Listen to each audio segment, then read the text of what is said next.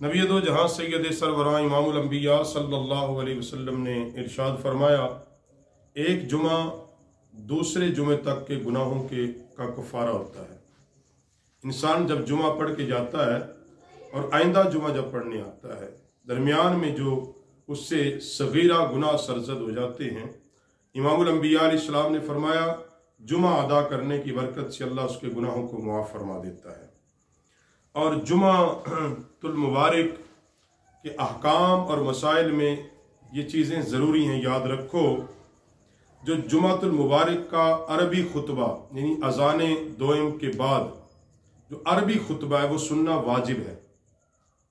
वो वाजिब है। बहुत कम हजरात ने उसको सुन्नत मौकदा लिखा है और इजमाही तौर पर फरमाया कि यह खुतबा सुनना वाजिब है।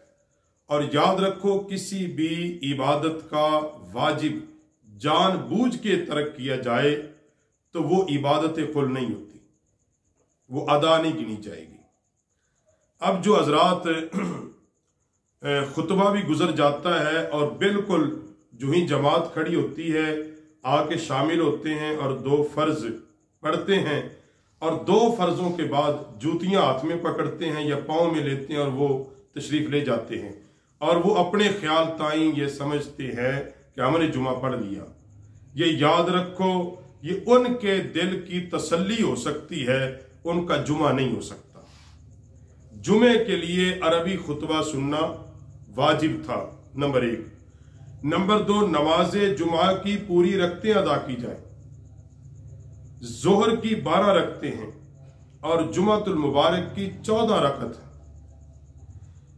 चार सुन्नतें जो पहले हैं और जमात के साथ दो फराइज हैं। और बाद में फिर चार सुन्नतें हैं। और फिर दो सुन्नतें हैं और दो नवाफिल हैं। ये जो सुन्नतें पहले हैं चार और चार बाद वाली और उसके बाद दो, सारी सुन्नतें मुक्दा है।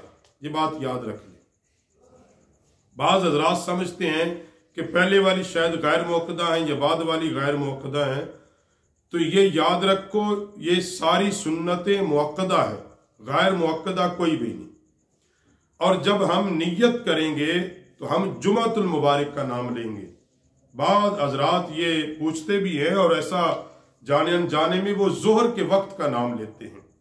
जुमातुल मुबारक के दिन जब जुमा अदा करेंगे तो फिर नाम भी जुमा का ही लिया जाएगा। अगर नमाज़ जोहर पढ़ेंगे तो अब जोहर का नाम लेंगे। तो इसी तरह जुमातुल मुबारक के अंदर नबी सलाम ने फरमाया, एक घड़ी ऐसी आती है कि बंदा जब अल्लाह से जो भी दुआ माँगता है, अल्लाह उसकी दुआ को कबूल फरमाता है।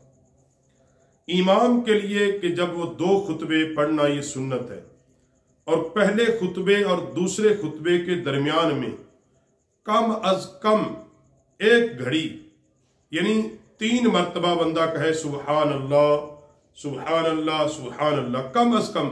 इतनी देर बैठना यह भी सुन्नत है। दो खुतबों के दरमियान में इतनी देर बैठना ये सुन्नत है।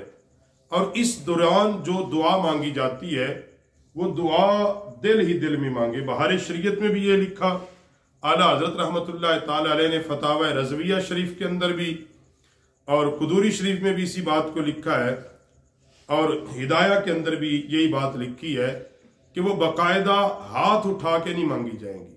यानी बाज अहबाब जब इमाम साहब बैठते हैं, फ़ौरन वो हाथ ऊपर करते हैं और फिर दुआ मांगते हैं।